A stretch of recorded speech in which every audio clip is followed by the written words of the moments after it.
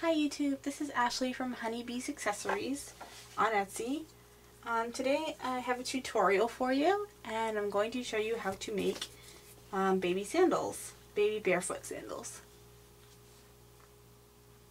Okay, so let's just get started. So first off you're going to need some FOE fold over elastic. I chose black this time. You need a needle and thread and some felt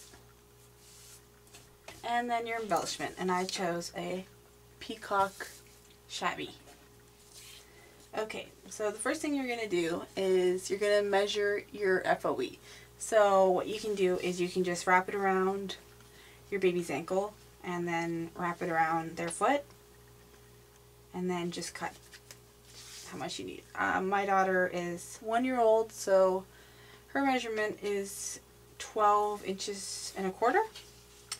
But if you're doing for a newborn, then I'm sure it'd be a lot smaller. Anywho, so what you're going to do, once you have your FOE cut, is you pretend you're kind of like wrapping around their ankle. And you're going to try to get it even, so you have even loops. And then pretend you're kind of wrapping around their foot and then bring it back to the center. So you're going to want to have a night, a perfect X. You can't just go like this and then like this because then it gets flipped. So you have to kind of pretend that you're putting it on the baby so that you can make sure that it's all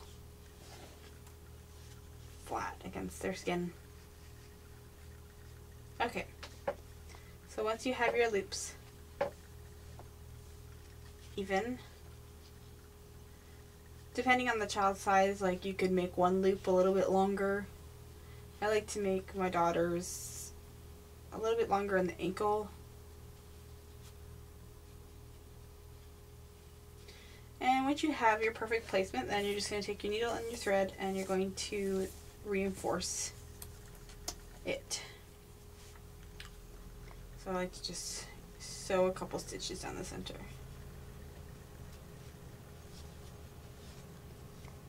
I like to sew it just because it is more secure and God forbid you are out with it on your baby and it just kind of sprung off of her foot. How embarrassing. And it doesn't take long, just a couple seconds. So I did three or four stitches here. Okay, I'm just going to tip it off. Okay, so that's perfect. So now you're going to grab some felt. It's nice to do a coordinating felt so it's less noticeable. And I'm going to cut two circles.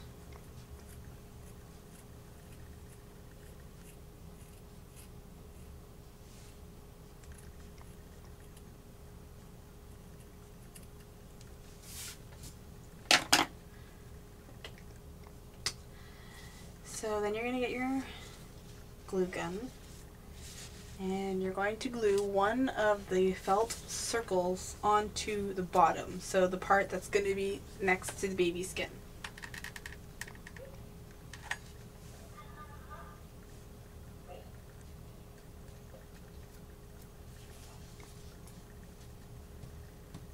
Okay and then you're going to take your shabby flower and glue um, one of the circles onto the bottom. And lightly pat it down because I know with shabbies because it's like an organza material if you press too hard the glue will go through the flower and then it will glue all the flower flat and then it won't look pretty. Okay, so once you're done with that, And you're going to go back to your sandal and you're going to apply more hot glue and try to get some on the felt and some in the center. And then you're going to sandwich it on. You can squish it more here because it won't go through the felt, through the flower.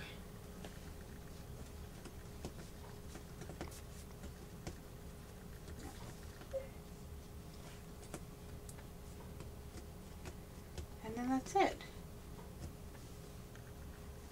You have cute little sandals that your baby can wear at the beach, in a wedding, for sale. Thank you very much for watching and check out my Etsy shop, Honeybees Accessories with a Z at the end of the accessories. And like and subscribe.